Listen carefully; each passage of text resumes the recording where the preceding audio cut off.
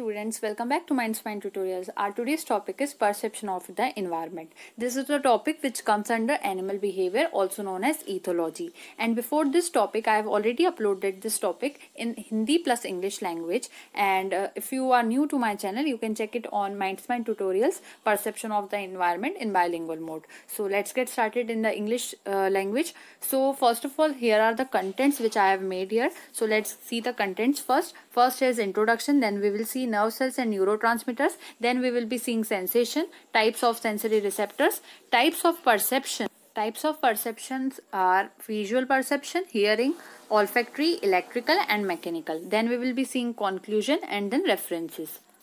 So, perception of the environment and intro. So, what do you mean by perception is very important here. So, let's see the definition first. So, definition is as follows.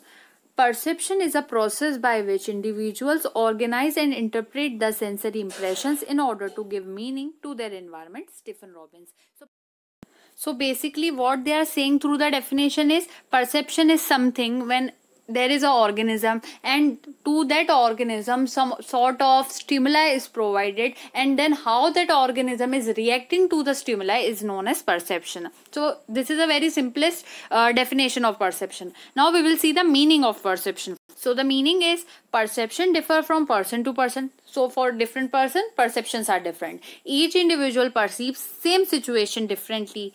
Group perceptions can influence one's perception. Individuals organize and interpret things based on their past experiences and the important values they consider important. So perception can can be based on important values moral values or we can say past experiences.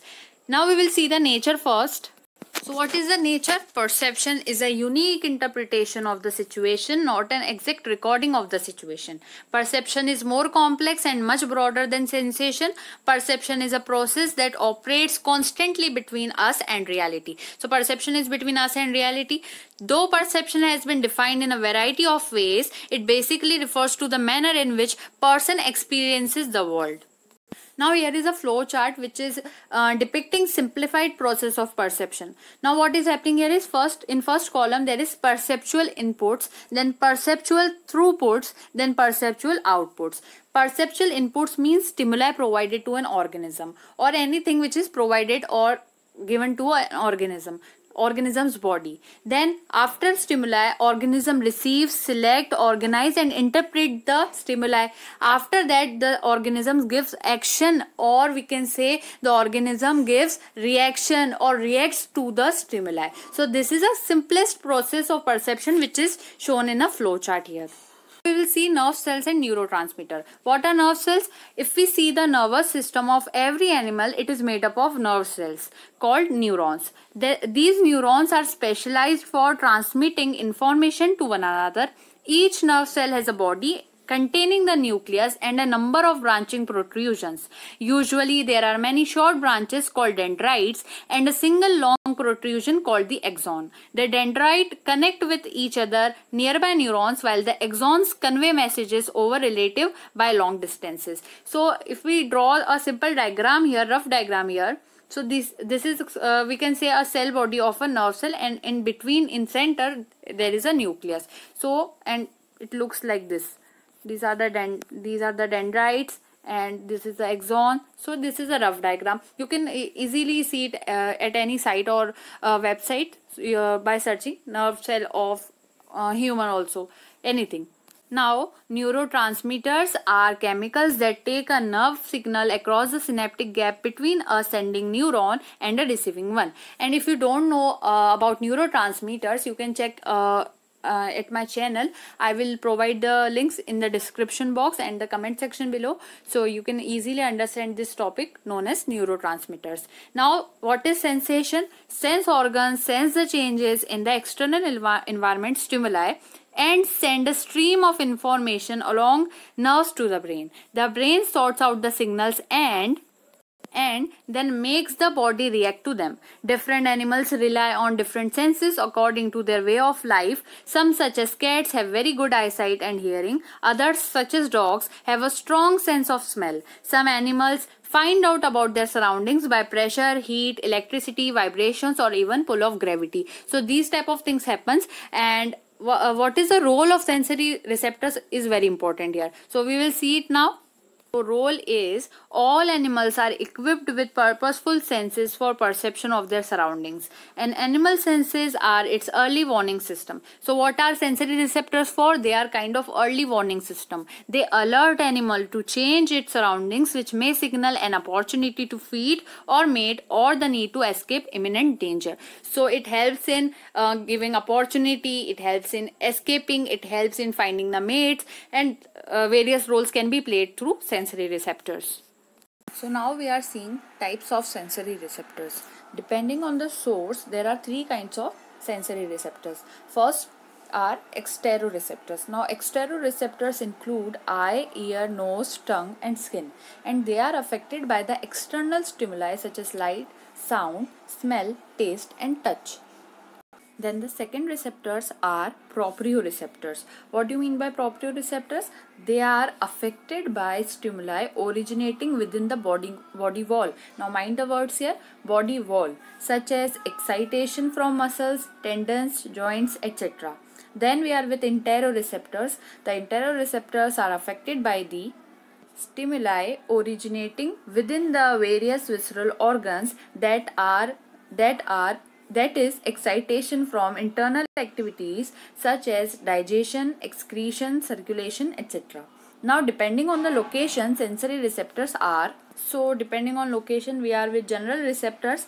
These receptors are located on the whole body surface and collect the information such as touch pressure temperature visceral sense movement etc so these receptors are present on the whole body surface then second receptors are special receptors we are seeing on the basis of location. So these receptors are related to special sense organs located in a definite portion of the body and collect the specific information such as smell, taste, sight, hearing and balance of the body. The organ of special sense include olfactory organ, gustatory organ, eye and ear.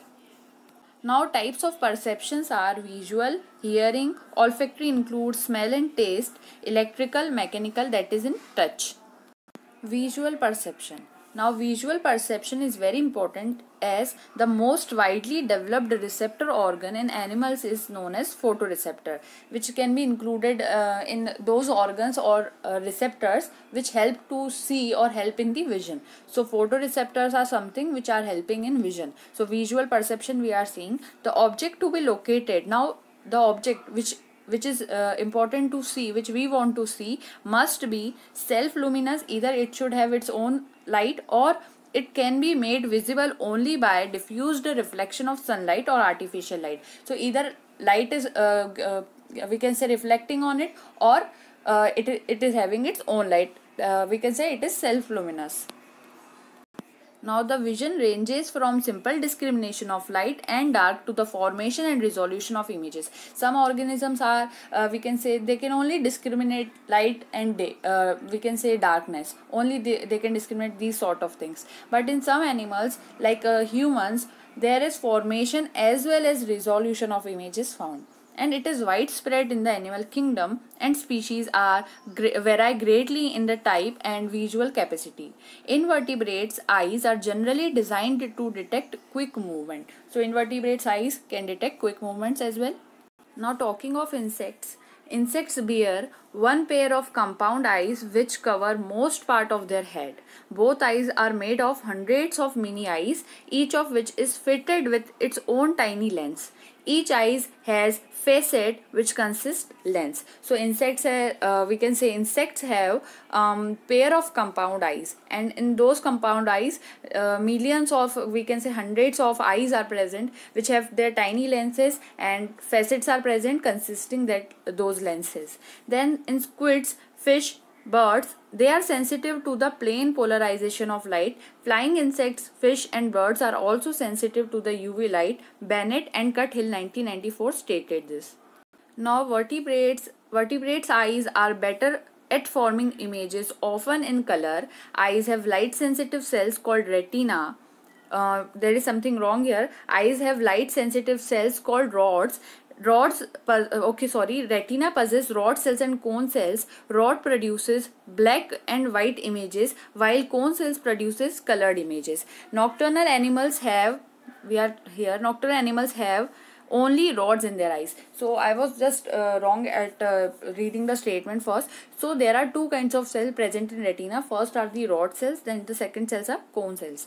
Rod cells are the cells which can only see black and white images while the cone cells as C is coming C and here also color for C so uh, cone cells are the cells which help to see colored images. Whereas in nocturnal animals there is no need to see the colors at night. Therefore those animals have only rods in their eyes. That is they help in seeing white and uh, black and white images. Now color vision is important for those animals such as monkeys which need for example to see the brightest and ripest fruit and leaves on tree. So um, such uh, animals such as monkeys need color vision therefore they need cone cells in their eyes and uh, why it is important uh, for them to see the color vision because they want to see the brightest and ripest fruits and leaves on the tree. So this is important here. Next the most important senses for birds are sight and sound. In birds of prey such as hawks and eagles, right by far the most important sense for finding and hunting the prey they need to survive. Their eyes are exceptionally large and have binocular forward vision. So some anim uh, some birds which are um, predatory in nature, so these birds always need binocular binocular forward vision and a very strong vision so they can see their prey. Now if we will see African spotted eagle owl, it has two forward facing eyes which give it good stereoscopic 3D vision. So these are some important things we saw in visual hearing perception. Hearing perception is something which is related to hearing auditory mechanism we can say ears and we, uh, auditory perception. Now, the sound results from minute changes in pressure that originate from a vibrating source within a medium such as air or water. So, sound is originated from a vibrating source, then it travels through the medium. Medium can be air or water, and it, it is important to note here is sound can only travel in medium. Now, after traveling, it is then interpreted through our brain and after that we we can react to the things. And animal's brain interprets waves of pressure traveling through the medium and detected by the ears as sound. The inner ear of a fish consists of a membranous sac enclosed in a chamber on either side of the posterior part of the skull. So if we if we see the inner ear of a fish it consists of a membranous sac which is enclosed in a chamber on either side that is on both sides of uh, of the posterior part of the skull these type of ears are present. The membranous labyrinth performs two important functions. The first function is it is the seat of the sense of hearing and the second function is maintenance of balance. So hearing and balance are the two functions. If we see the ears of amphibians reptiles and mammals these organisms have eardrum present in them which uh, which is sensitive to tiny changes in pressure. The mammal's ears uh, are divided into three parts outer middle and inner ear. Ear have eardrum three bones malleus incus and stapes and cochlea. So this is the structure of a mammal's ear. Now we are seeing some vibration sensitive organs other than ears Limb joints of crickets and many other insects bear special ear. These, these are sensitive to vibrations made by their own species. So uh, crickets and many other insect species ha uh, have special ear on their limb joints which help to sense the vibrations made by their own species. So it is kind of intra-specific thing. Now if we see blowflies, blowflies have receptors in some joints of the antennae called Johnston's organ. These Johnston's organs or these organs can sense movements up to 500 hertz. If we see mosquito, they also bear the same kind of organ known as Johnston's organ. Nocturnal moths and lacewings bear two ears on the thorax and each ear is composed of tiny thin tympanic membrane connected to sensory cells. Ears can pick up the echolocating cells or sound, ultrasonic sound of hunting bats and enable a moth to take evasive action. Uh, so whenever a moth or lacewing sense uh, that uh, their predator that is a bat is producing a echolocating sound ultrasonic sound to locate them to capture them then they just uh, we can say escape from their uh, enemies through these special kind of ears. Now, some bats and owls also hunt in complete darkness, not by emitting sounds of their own, but by seeing, but by being extremely sensitive to sound made by their prey. So, bats and owls can uh, sense uh, tiniest of sounds made by their prey. Barn's owl feather have tiny uh, edges. Barn owl is a nocturnal hunter. It can locate and capture a freely moving mouse in total darkness. Barn owl can detect the sound made by mouse resulting through leaves or even chewing. Payne 1971 stated this. Of smell and taste. Olfactory. Chemoreceptors means recognition of chemicals and comparative perception of its concentration. Many species communicate with chemical messengers called pheromones, small volatile molecules that are secreted in the exocrine gland of those species and released into the environment. Animals use pheromone to communicate danger, ownership of territory and advertisement for advertisement for mating. So uh, in some animals they perceive the environment through chemical uh, chemicals such as pheromones. So chemical perception uh, or we can say audit uh, olfactory perception is something which is related to pheromones also. Insects are extremely good at detecting and producing minute traces of certain chemicals. Especially these sort of chemicals known as pheromones are produced by insects. And i have already uploaded the video for pheromones. You can check uh, at Mindsmine tutorials pheromones. Social insects like ants termites use such chemicals as a means of communicating simple messages. So they they just uh, release these pheromones and uh, for communication also communication purpose also they use these pheromones.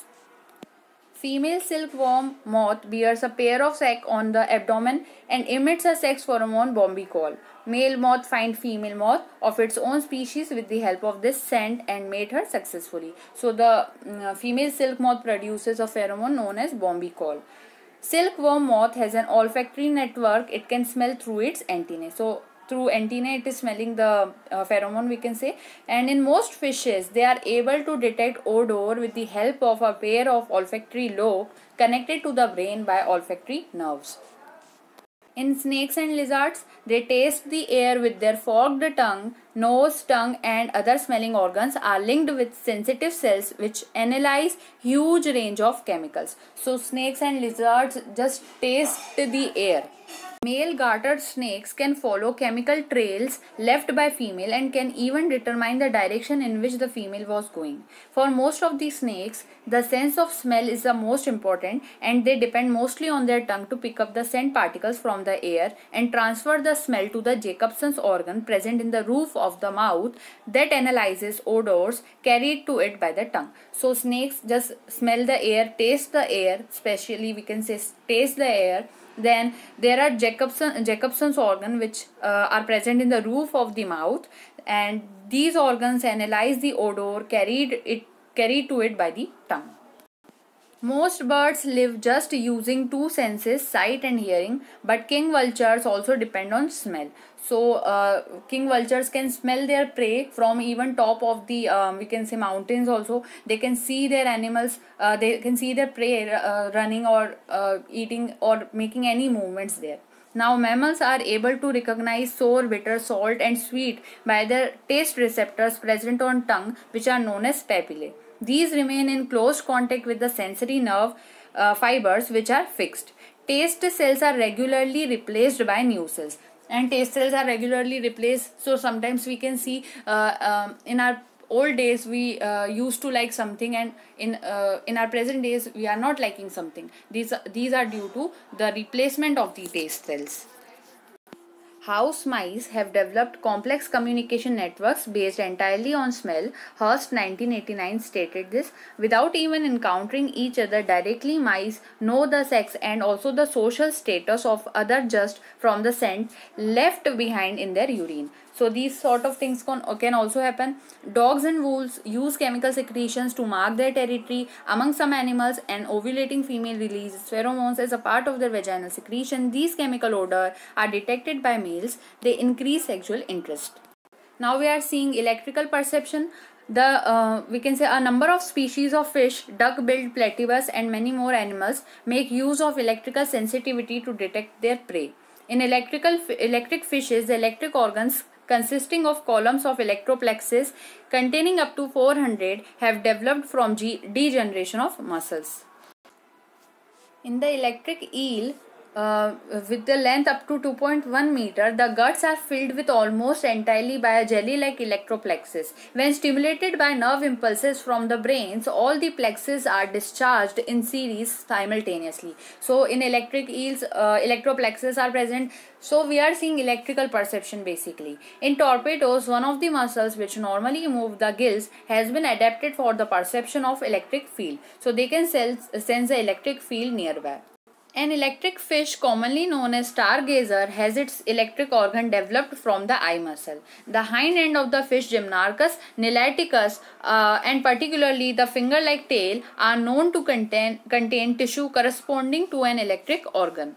In addition to their lateral line system, sharks have electroreceptors called ampulla of Lorenzini on their heads that may also be used to, to locate prey.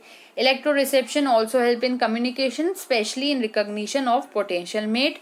In duck-billed platypus, now in duck-billed platypus, they are able to detect the electric fields generated by muscle activity in animals such as uh, crayfish and shrimps on which they feed. They have electroreceptors on their bill on their bill that enable them to detect their prey so uh, as you can see the statements are very easier that's why i'm not explaining each and every uh, statement here and if you have or if you even get a doubt then you can ask in the comment section below. Lastly the last perception of our topic uh, in a, is mechanical perception, also known as touch perception.